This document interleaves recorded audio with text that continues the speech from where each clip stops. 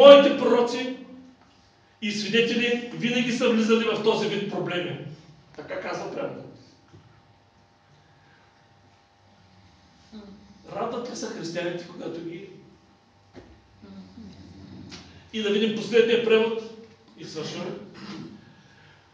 Благословен, морално смел. И трябва да си много смел. Морално смел, за да се изправиш пред целия свят и да изявиш своята вяра в Бога. Нали?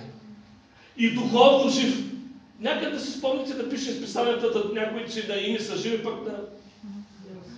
А, а, а иначе после какво пише? На ими си жив, а? А в действителност? Си. Така.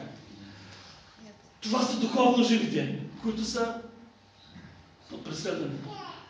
С радост от живота в Божията доброта.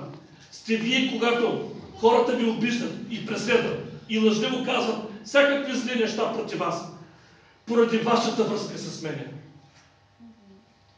Вижте, много е реална връзката ни с Бога. Всъщност, ако тя наистина е реална, света ще ни навижда. Бъдете весели и изключително радостни, защото наградата ви на небето е голяма. Има обяснение.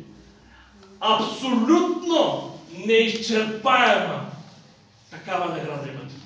За това, че сте унижени и преследвани заради Бога. Защото така преследваха пророците, които бяха против вас. Въздайте радост, когато ви унижават. Преследват и, и не ви дават добри позиции. Аз където работих в прав текст ми казаха, понеже ти си вярваш, ти не можеш да растеш тук. Няма как да отидеш по-нагоре, защото просто вярваш Бога. Казаха ми го. Това е каза причината, така да са нещата, до този положение. Не може повече. Ти си християнин. И те, като режат долу, растеш горе. Бог да ви благослови, свидетелства и нужди и Божия мир да бъде с всички вас. Амин.